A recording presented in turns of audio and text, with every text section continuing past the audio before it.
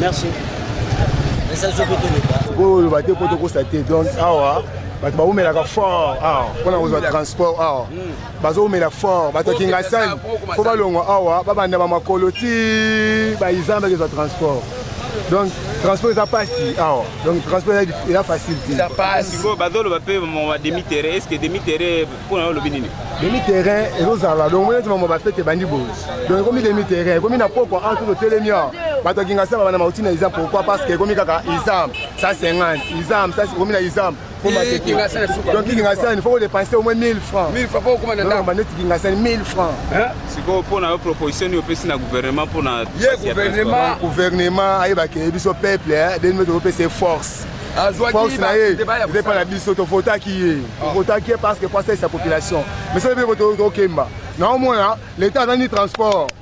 ni bis moko te ya leta ekomi kaka baprive yango c'est pour cela moi baprive ekomi bateti tomona na monde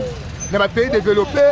leta ye moko aza na transport personnel na ye biso moko na biso leta aza ni transport euh, sik ebimaki awa ekufa tokei kuna na sik okomona tous les babis eza na kati kuna donc baprive bazovimba parce que leta aza ne na transport te leta azwa babis na ye azwaka meme capacité na ye pendant 5 ans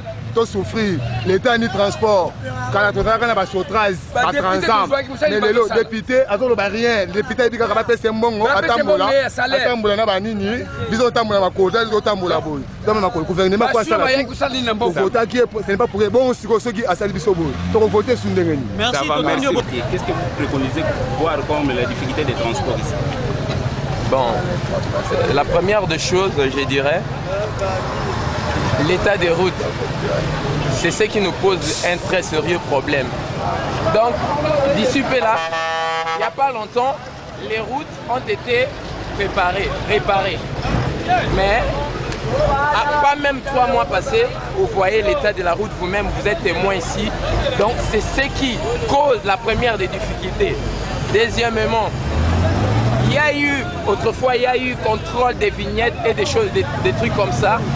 Donc ceux qui n'en possédaient pas ont trouvé bon de garder leur véhicule à la maison. Donc vous savez, la plupart des véhicules que nous aident, ce sont des transporteurs tels que les sont ici. Ils ont garé à la maison et il n'y avait plus de circulation euh, maximum de, de, moyens de transport. C'est ce qui a causé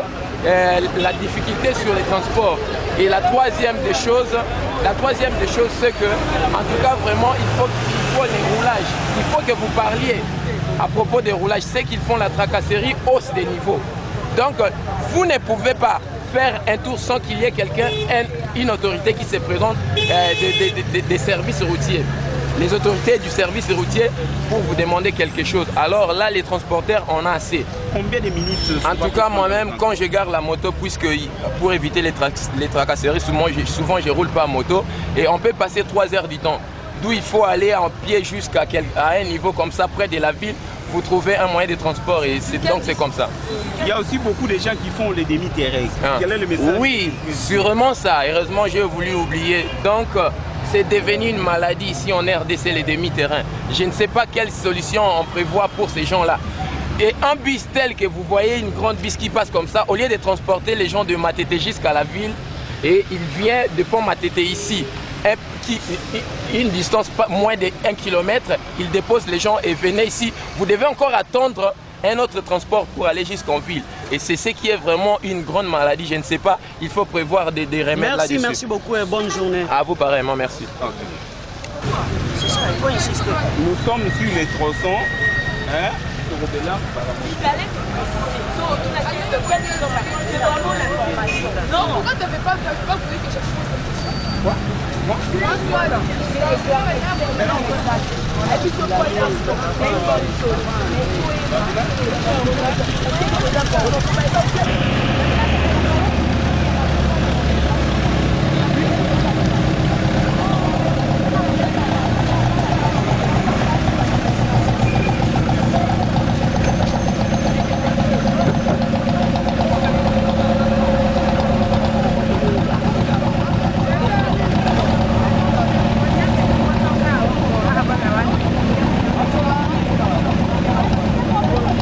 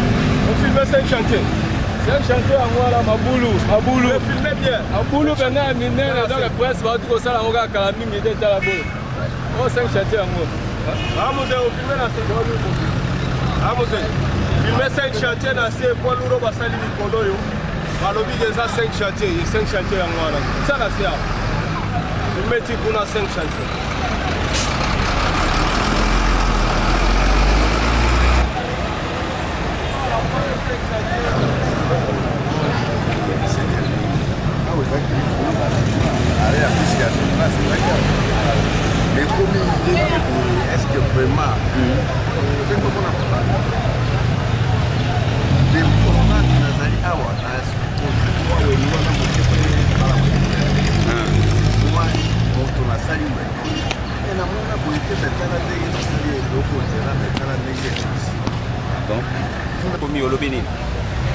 euh, normalement ndenge otuni ngai parce que depuis na vivre na esika oyo depuis 90 1990 nayebi beya te ndenge ezalaki ti bala moto ndenge ezalaki eh, atako bambula ezalaki kobeta toboni tusa tozalaki komona boye te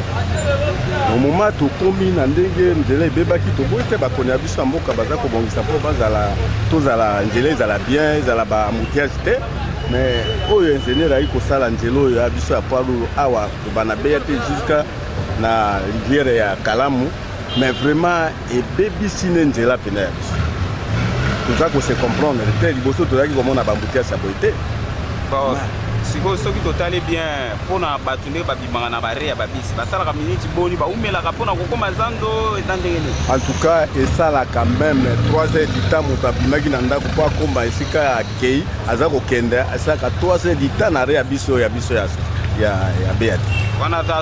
azali kodila kaka transport transport eza komonana te mpona nini toyebi te soki ambutiasi ndenge eleki makasi yango wana abani ti ntango mosusu abetika makolo alembi sikoyo mpona Ba proposition na oko proposer gouvernement sala nini pona ko kutela o.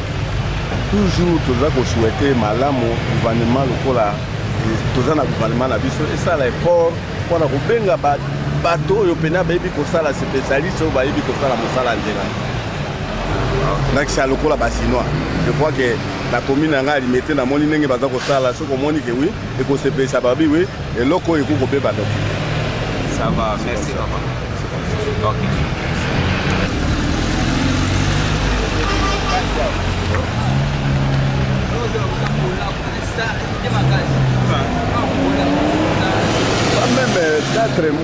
kaka ezalaki awa basali me pas meme 4 mois trace moko ya moke ekokozela te mpo mai mpe ekotaka mpe ekendaka